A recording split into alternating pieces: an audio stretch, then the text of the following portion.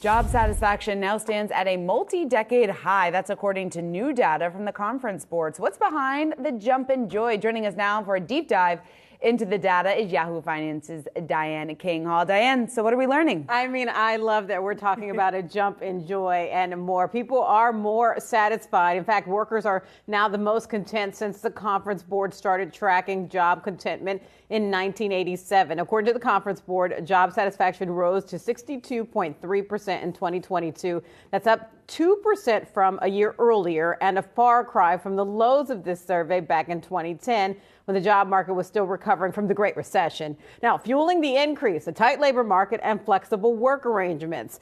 Measures that saw the greatest uptick, work life balance, and improvements in workload and the performance review process. Perks and pay improved with people reporting being happier with health plans, wages, and bonuses, and the potential for future growth.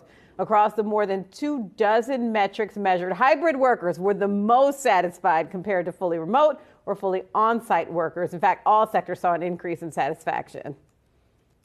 Uh, you know, it's worth noting that the survey was conducted before the most right. recent spate of layoffs that we've seen. So I'd be curious to see how that shifts. The hybrid work environment, Diane, though, is, is I think, a really big one because right. I will tell you just from experience, just being in this office, you don't see workers in every day. It's true. But but that flexibility, it feels like, is increasingly what's allowing companies to keep employees on board. Right. And that is that is one thing that they noted. There's one of the things they noted in the survey was that this could shift when they do the survey again because keep in mind this is annual this is a look back at 2022 and there was also a divergence in who was happier men were happier than women signaling that pay and promotions were still a problem when it comes to the gender pay gap you're looking at that gap in terms of the numbers between men and women how they see different things like pay and other perks in general so again pay particularly a sticking point with women, women less satisfied with job characteristics like promotions, uh, performance reviews, growth potential.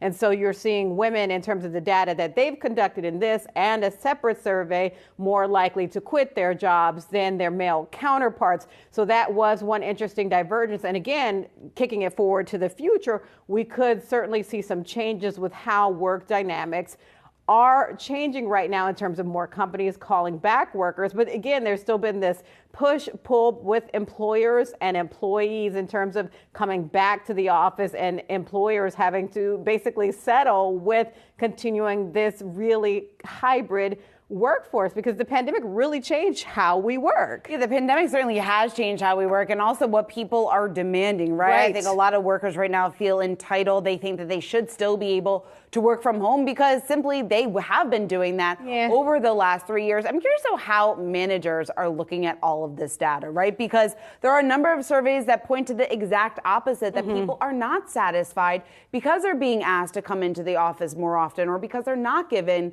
that flexibility right. that they did have during the pandemic. Exactly. So some of the metrics that were measured in this could certainly change as they conduct this for 2023 or certain responses to the uh, areas that were measured in this, such as just happiness with work life balance, uh, performance responses from, say, managers, because managers may have different views on the hybrid work arrangement. But again, it still remains something that's really kind of part of the makeup of how corporations are still operating.